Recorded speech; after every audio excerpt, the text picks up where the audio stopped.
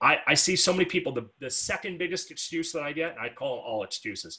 The second biggest excuse that I get right now is, well, I don't have a media team to follow me around like you did. You're right. You don't have a media team to follow me or follow you around like I had.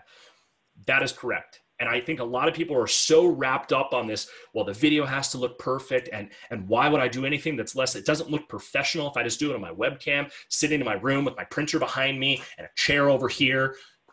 It does, because people aren't looking at your surroundings.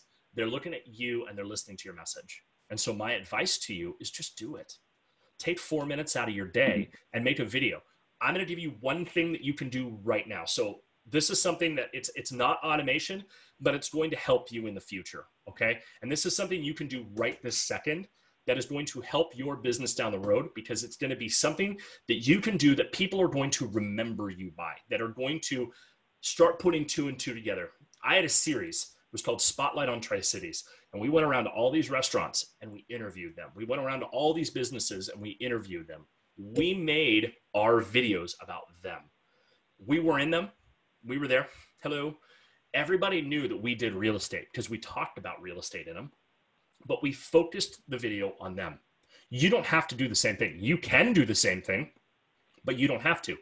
What you can do today is you can go on and you can go into your area and you can create a Facebook group for restaurants that are open and have takeout and delivery available during COVID 19. That's the first thing you can do right now go create a Facebook group, call it Food to Go in Your Area During COVID 19.